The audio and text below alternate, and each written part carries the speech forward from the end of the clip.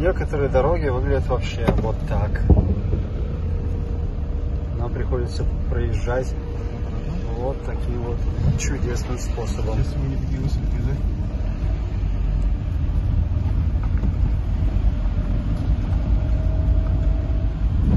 Это улица Почтовая, да? Куприна. Это Куприна улица?